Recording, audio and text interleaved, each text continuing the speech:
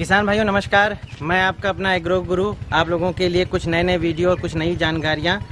जैविक है तो मुमकिन है और जैविक के बढ़ावा देने के लिए कि रसायन से बहुत जो हानियाँ हो रही हैं, जो क्षति पहुँच रही हैं, जो दिक्कतें आ रही हैं शरीर में, मानसिक रूप से और हमारे समाज में, जो वो जहर घुल रहा है, उस गहर, जहर को कैसे ख़त्म करना है, उस रसायन से हमें कैसे मुक्ति पानी है, उसका एक संजीदा जो हमारे किसान भाई होते हैं, उनसे बेहतर कोई चीज़ें नहीं जानता है और उसमें जो जागरूक किसान होते हैं वो सबसे अच्छा उदाहरण पेश कर सकते हैं ऐसे किसानों के लिए, जो इसके खतरे को अच्छे से भापते हैं, जानते हैं और समझते हैं कि रसायन कितनी क्षति उनको दे सकता है। सबसे पहले हमारे बीच में जो हमारे किसान भाई हैं, उनको आज अगर हम बात करें तो किसी पहचान की आवश्यकता नहीं है, क्योंकि हमारे ज़िले की एक शान के रूप में उभर रहे हैं और हम कामना करते हैं सरकार से भी कि उन्हें अच्छे से पुरस्कृत किया जाए। क्योंकि ऐसे प्रोत्साहित किसान ही अगले किसान को प्रोत्साहन दे सकते हैं नई नई टेक्निक बता सकते हैं ताकि वो आत्मनिर्भर की दिशा में बढ़ सके और हमारे प्रधानमंत्री जी का सपना सकुशल बढ़ाया जा सके। उसके लिए मैं बहुत बहुत धन्यवाद करना चाहूँगा। नाम आपका क्या है सर? गया प्रसाद मौर्य। गया प्रसाद मौर्य जी गाँव? मोहम्मदपुर। मोहम्मदपुर ये बिस्वा फतेह मोहम्मदपुर पोस्ट बिशनपुर पोस्ट बिशनपुर और फतेहपुर? हाँ ब्लॉक फतेहपुर। जी ब्लॉक फतेहपुर। आपकी कहानी हम लोगों ने कई बार यूट्यूब पर देखी है चैनल पर भी देखी है तो उससे प्रोत्साहन मिलता था कि हम लोग आपसे मिल सकें और आपके साथ जैविक खेती के लिए बढ़ावा देने की बातचीत कर सकें। जैविक खेती की तरफ़ आपका रुझान कैसे आया? आज से दस साल पहले मुझको कैंसर हुआ था। जी। और कैंसर से तो मैं ठीक हो गया।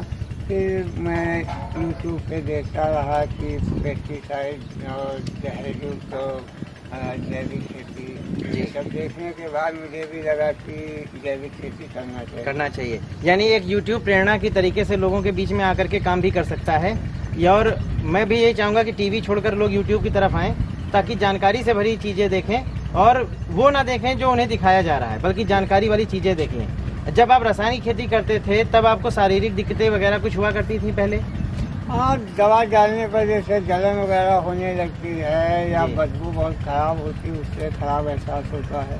और उससे आप ये बेहतर जानते हैं कि हमारे जो शरीर में दिक्कतें जैसे आप कैंसर की लड़ाई जीत करके आए हैं ऐसे बहुत सारे किसान भाई हैं जो नहीं जीत सके और वो आज दुनिया में नहीं हैं। ऐसे लोगों के लिए आप एक प्रेरणा स्रोत हैं और एक अच्छी प्रेरणा के साथ आप आगे बढ़ रहे हैं और नई नई खेती आप हम लोगों के ज़िले में लेकर के आ रहे हैं। जैसे आपने पिछले साल काला गेहूँ भी किया था इस बार काला धान भी कर रहे हैं अभी हम लोग वहाँ भी चलेंगे।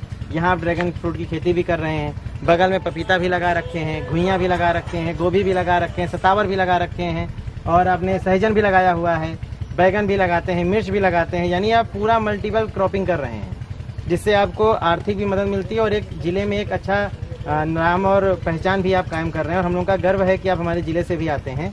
हमारे बीच में आपके छोटे भाई भी हैं, उनको भी बुलाना चाहेंगे। आइए आइए तो एक मिनट। आइए आइए, एक मिनट आइए। ज़रूरी है, किसानों के लिए प्रेरणा बनना बहुत ज़रूरी है। आइए। आइए आइए आइए तो। ये देखिए हमें ज़िम्मेदारी लेनी है और इस ज़िम्मेदारी को पीछे नहीं जाना है। कभी ना कभी हमें पहल तो करनी ही है। जैसे आप पहले रसायन के स्प्रे किया करते थे और आज आप जैविक का स्प्रे कर रहे हैं तो दोनों में अंतर क्या आ रहा है?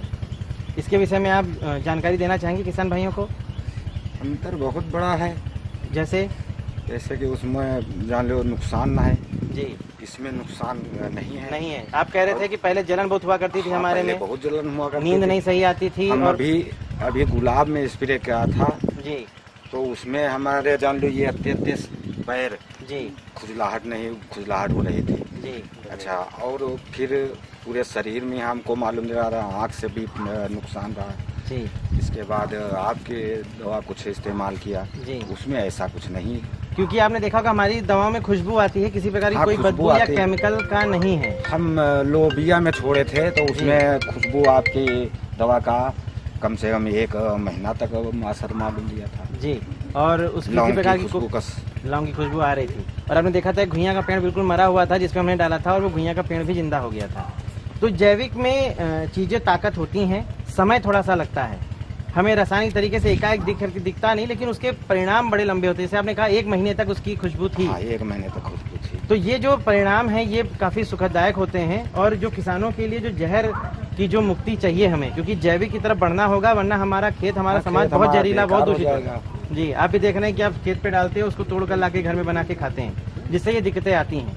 है ना? ये जो ड्रैगन फ्रूट की खेती जो आप कर रहे हैं हम आप चाहेंगे कि ड्रैगन फ्रूट की खेती किस तरीके से इनको प्रेरणा का सबब मिला और आज जो लाभ हो रहा है, उसको और किसानों के साथ कैसे साझा करना चाहेंगे और क्या क्या चीज़ें हमें और सुनने को मिल रही हैं, उसके विषय में भी हम जानकारी देंगे। जैसे हम लोग की बातचीत हुई थी कि आप ज़िले में इसको बड़े पैमाने पे बढ़ाना चाह रहे हैं, यानी किसानों को हम लोग जोड़ना चाह रहे हैं कि इससे वो आय के अच्छे स्रोत पा सकें। तो क्या आप इनके पौधे और नर्सरी के द्वारा अन्य लोगों को पौधे पहुँचाने की कृपा करेंगे? हाँ ये हमारा प्लान चल रहा है कि अभी मिट्टी की तैयार करा रहे हैं फिर कटिंग से पौधा तैयार किया जाएगा। जी। जो हम तो चाहते हैं कि भविष्य और समय को देखते हुए ये क्रॉप ड्रैगन फ्रूट की जो है ज़्यादा अच्छी आ, महसूस हो रही है ये सभी किसानों को करना चाहिए। जी जी। क्योंकि इसमें बीमारी बहुत ही ना के बराबर है बीमारी कोई नहीं लगती है। पानी का खर्चा कम है खाद दवा का खर्चा बहुत कम है इसलिए इसमें प्रॉफिट ज़्यादा अच्छा है। प्रॉफिट ज़्यादा अच्छा है। तो आप ये जो कटिंग होंगी और जो नए पौधे होंगे ये कब से किसान भाइयों के लिए अवेलेबल होना शुरू हो जाएगा? ये अक्टूबर लास्ट से हम देना शुरू कर देंगे। अक्टूबर लास्ट से। तो हम चाहेंगे कि आप जल्द से जल्द, अगर आप ड्रैगन फ्रूट की खेती के विषय में चाह रहे हैं तो हम आपको ट्रेनिंग भी देंगे, आपको पौधे भी मिलेंगे और जैविक खेती की वो सारे साजो सामान भी देंगे, जो आपको अच्छे फल की प्राप्ति होगी, ऐसे चमकदार, बढ़िया से फल, जो आप अच्छी आमदनी का स्रोत भी होंगे और अगर हम कहें इसके साथ आप कई खेती और भी कर लेते हैं हाँ छोटी क्रॉप इसके अंदर हो सकती है, जैसे फूल गोभी पत्ता गोभी धनिया, पालक। हाँ, ये सारी छोटी छोटी क्रॉपें जो बड़े अच्छे ढंग से की जा सकती है। यानी इसकी जो हमारी ज़्यादा लागत है उसका हाँ, पैसा हम वहाँ से प्राप्त कर लेते हैं। हाँ वो प्राप्त हो जाएगा और इसमें शायद पपीता की भी खेती हो सकती है। पपीता की भी हो सकती है। आपने पपीता लगा के एक रिसर्च भी किया है मैं दिखाना चाहूँगा। ये पपीता भी आप देख सकते हैं एक अच्छा पपीता लगा हुआ है और कई लाइनों में लगा हुआ है। यानी यहाँ पर आप अगर आप आते हैं तो ट्रेनिंग के साथ साथ वो सारी चीज़ें पाएँगे जो एक उभरते किसान के लिए आवश्यक हैं। और जैसे आप देखते हैं मार्केट में रसायन की अपेक्षा जैविक फलों की डिमांड ज़्यादा है और उससे रेट भी अच्छा मिलता है। तो क्या आपको वास्तव में मिलता है केवल बातें हैं? नहीं अब हमको तो मान लीजिए जैविक का तो वही शुरुआत है। हमारे पास कोई जैविक का प्रमाण पत्र तो है नहीं। इसलिए उसको लोग मानना तो नामुमकिन समझते हैं। लेकिन जो समझते हैं कहने से कि हाँ कर रहे हैं तो वो उसको ले रहे हैं। देखिए उसका सर्टिफिकेट हम देते हैं क्योंकि हमारे पास सर्टिफिकेट हाँ, है हम आईएसओ सर्टिफाइड हैं। हम्म। हम जहाँ भी अब जाएँगे क्योंकि आप हमारा प्रोडक्ट भी यूज़ कर रहे हैं तो हम इसको खोल के कह सकते हैं कि आप जैविक फल उगा रहे हैं। आगे चल करके हो सकता है अगर आप सर्टिफिकेट नहीं लेते तो हम अपने बैनर में इसको बेचने की कोशिश करेंगे क्योंकि हम ऑर्गेनिक हैं और हमारी पहचान ऑर्गेनिक की है। अभी हम चलते हैं आपके धान के खेत में जहाँ आप काले धान की व्यवस्था भी कर रहे हैं। आगे चल करके हम चाहेंगे किसानों को प्रेरित करें उसके बीज भी उनको मुहैया कराएँ। तो किसान भाइयों अभी मैं आगे हम लोग की वीडियो पूरा देखते रहिए क्योंकि अब अगली जो कड़ी आएगी उसमें वो धान के खेत की होगी जिसमें आप काला धान की भी जानकारी प्राप्त करेंगे। काले गेहूँ का सीड उपलब्ध है। काले गेहूँ का सीड उपलब्ध है। अभी उसकी हम लोग चर्चा खेत पे ही करते हैं ताकि ये सारी जानकारी किसान भाइयों को मिलती रहे। जैसा कि हमने अभी अगले भाग में बताया था कि हम अभी काले धान की तरफ़ चलेंगे और वहाँ की जानकारी देंगे। देखिए उभरते हुए जो हमारे कृषक भाई होते हैं जो नई नई टेक्नोलॉजी और अपने बच्चों को भी प्रेरित करते हैं खेती के लिए ऐसे किसान बहुत कम देखने को मिलते हैं वरना मैक्सिमम लोग तो खेती को छोड़ करके वो छोटा मोटा व्यापार और छोटी मोटी नौकरी करना पसंद कर रहे हैं आज की डेट में, क्योंकि लागत ही इतनी बढ़ चुकी है। अभी जैसे आपसे बात हुई थी काले धान के विषय में लेकर के, आपने बोला कि काला बीज भी जिस गेहूँ के लिए भी चाहिए तो हम अभी इसकी भी बात करेंगे कई जगह किसान भाइयों से, अगर वो नई खेती की तरफ़ बढ़ावा दे रहे हैं तो हम लोग उसमें पूरा योगदान करें। तो जो काले धान की जो शुरुआत हुई, इसको आपने कैसे जाना था? कैसे समझा था कि एक कुछ अलग काला धान भी उगा करके देखा जाए? तो इसका जो हमने यूट्यूब पे काला चावल के बारे में देखा यूट्यूब पे वो जानकारी उससे हासिल की इसमें जो है डायबिटीज़ और मोटापा को कम करने के गुण हैं। जी। कुछ में आयरन और आ, जो है काफ़ी मात्रा में है फाइबर यानी सूच सूक्ष्म पोषक तत्व की मात्रा जो शरीर को हाँ, चाहिए वो ज़्यादा है। हाँ और जो कैंसर वालों के लिए फ़ायदेमंद है। इसलिए हमने सोचकर इसको लगाया कि इसे लगाना चाहिए और इसका जब हम जैविक तरीके से करेंगे तो लोगों को इसको बढ़ावा देंगे। मतलब ये पेस्टिसाइड छोड़ के जो लोग जैविक में और अच्छी पौष्टिक आहार जी। ले जो। हमारा उद्देश्य है और हमारी सोच है। ये बात आपने बहुत अच्छी की पौष्टिक आहार। हम्म। क्योंकि पौष्टिक ही आज नहीं है। अगर हम दूध पिए तो उसमें वो स्वाद नहीं है अनाज खाएँ तो वो सौंधापन नहीं है घी खाएँ तो वो स्वाद नहीं है। क्योंकि ओरिजिनल होते हुए भी वो चीज़ें नहीं हैं जो होनी चाहिए, क्योंकि जैविक चीज़ों को खा करके आज कोई भी व्यक्ति अगर देखा जाए तो जीवन यापन नहीं कर रहा है। यानी उसका खाना सिर्फ़ चारे के समान है, भोजन के समान नहीं रह गया है।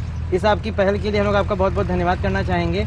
और जब हम लोग आपके पास आए थे तो देख रहे थे धान में थोड़ी सी दिक्कतें भी आ गई थी, कुछ पीला पड़ने लगा था और कई प्रकार की समस्याएँ आ रही थी तो हमने अपना सॉइल इंसेट गार्ड डलवाया था इसमें P G R one P G R two डलवाया था। तो उसके बाद जो ये अंतर दिखे आपको, जो हरापन आना शुरू हुआ है इसको लेकर के जो जैविक के प्रति और आपका जो रुझान है वो मज़बूत हुआ है थोड़ा? हाँ ये इतना मतलब जो कि हमने इसमें आ, कोई डीएपी कोई यूरिया कोई पेस्टिसाइड का उपयोग नहीं किया।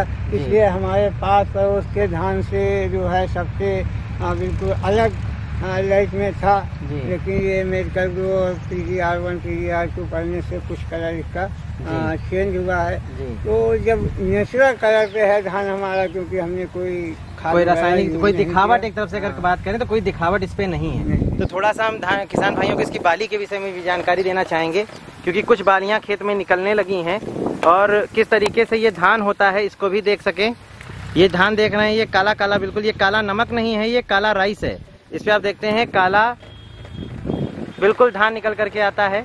और जैसे हमारे किसान भाई ने भी बताया ये शुगर फ्री है इसमें पौष्टिक आहार की मात्रा ज़्यादा होती है तो इन चीज़ों को लेकर के प्रेरित होइए और आगे से सारी सभी प्रकार के जो काले धान है या काला गेहूँ है, इसके बीज हम लोगों को मुहैया कराए जाएँगे और जैविक खेती के लिए सभी प्रकार के जो पोषक तत्व से संबंधित जो भी प्रोडक्ट हैं या कीटनाशी हैं तो हम लोग उसको मुहैया कराएँगे और एक टीम वर्क की तरीके से, यानी जैसा काम हम लोग करते हैं, उस टीम वर्क की तरीके से सभी लोग मिलकर के काम करेंगे और एक दूसरे का हाथ बटाएँगे। इसके लिए बहुत बहुत धन्यवाद और मैं भी चाहूँगा कि जैविक है तो मुमकिन है। है ना? जैविक है तो जैविक है तो मुमकिन है। और इस जैविक मुहिम में आप भी हमारा हिस्सा बने। बहुत बहुत धन्यवाद। नमस्कार।